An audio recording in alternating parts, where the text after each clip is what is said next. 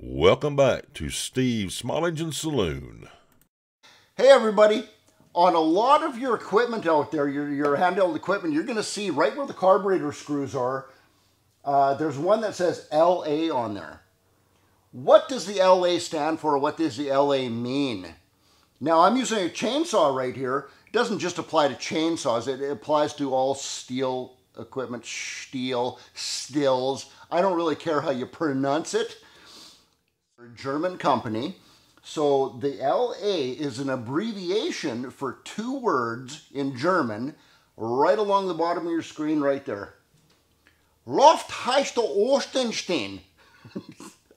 I don't know how to pronunciate that at all. Hey, maybe if there's somebody out there who actually speaks German can put in the comment section how to say that phonetically, then I will know. Klaus, hobby motor, Wink, wink.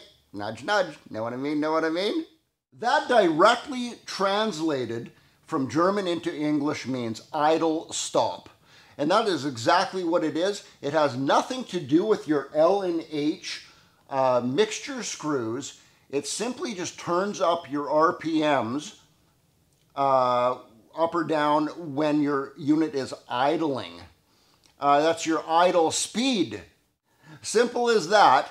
Hey, check out my playlists on, back in my channel. A lot more tidbits of information just like that for you. And uh, subscribe to my channel if you already haven't. I think we're done. Steve Ood, eh?